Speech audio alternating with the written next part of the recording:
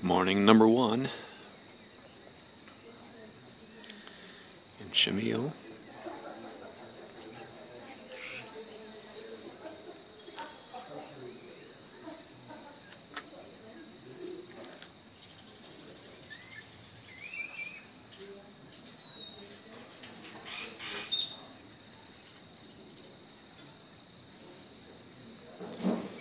Had a very, very cold night, waking up to see our breath.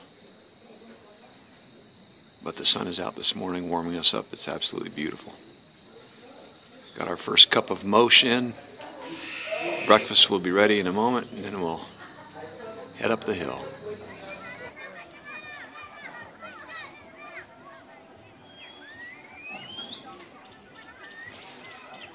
Walking down the hill to the school for our welcome ceremony. Music's going.